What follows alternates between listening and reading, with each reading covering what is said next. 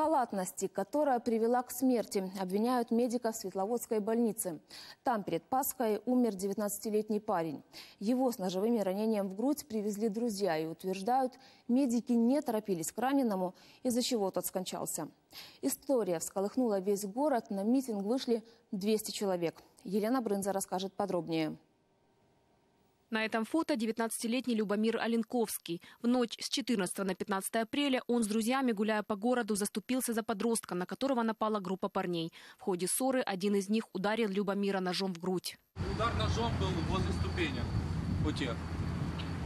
Любомир его, получается, разворачивал на себя, и тот ну, сразу ему нанес удар ножом. Потом Любомир пробежал еще некоторое время, и уже там он упал. Друзья рассказывают, чтобы не терять ни минуты, тут же привезли на своей машине Любомира в больницу. Но медики, утверждают парни, не спешили на помощь. Врач вышел только спустя полчаса. Ребята тарабанили, там подбежало еще человек, наверное, 10. Тарабанили сюда, сюда, сюда, в центральный вход, потому что не открывались ни, с- ну, вообще ни с каких сторон. Никто не подходил. На всей стране мы сами. Я проверял лично. Я ему просто держал голову на кушетке и пробовал пульс. Требовать расследования смерти юноши и наказания виновных вышли 200 человек. Они прошли по центру города к больнице, где умер Любомир.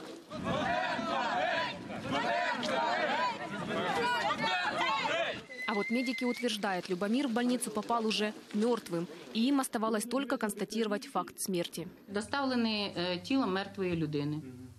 Такого в лифте при медсестер он дышал. Не може тіло мертвої людини Да. дихати. Парня, который нанес удар Любомиру, уже задержали, отчитались поліції. В понеділок було прийнято рішення головою Світловодського суду про арештувати його на термін 60 діб. Вину визнає речовий доказ із знаряддя вбивства вилучено.